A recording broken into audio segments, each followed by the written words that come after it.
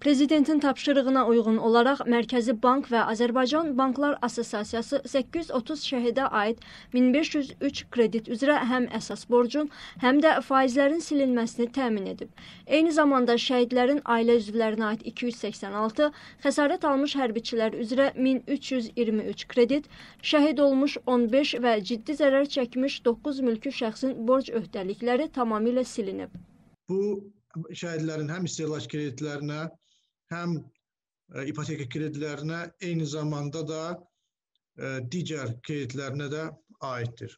Bank olmayan kredit təşkilatları bu prosesdən kənarda qalmayıb və onlar da qeyd olunmuş əhali qrupları üzrə kreditlərin tam silinməsini təmin etmişlər.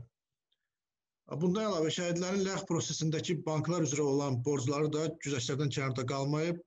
Bu borc öhdəliklərinin silinməsi ilə bağlı məsələ bu günlərdə əmanətlərin sorğutalanması fondunun himayəçilər şurasında müzakirəyə çıxarılacaqdır. Bundan başqa şəhid, əlillik, digər ağır və yüngül xəsarətlərə görə sığorta ödənişlərinin alınması üçün hərbi qulluqçuların və onların vərəsələrinin müraciətlərinin xeyli artacağı nəzərə alınaraq Azərsığorta şirkət də gücləndirilmiş iş rejiminə keçib.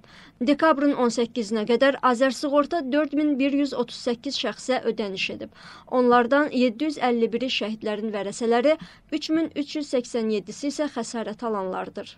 Düşünürəm ki, bütün bunlar Azərbaycanın çox ciddi şəkildə sosial statusa malik olan dövlət kimi mövqeləşməsi istiqamətində addımlar atmasının açıq göstəricisidir.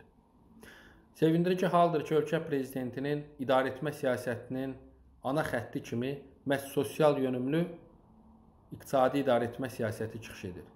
Və bu Azərbaycanın şübhəsiz ki, həm siyasi, həm sosial, həm iqtisadi müstəvidə dayanıqlı inkişafının əsas təminatçılarından biri kimi çıxış edir.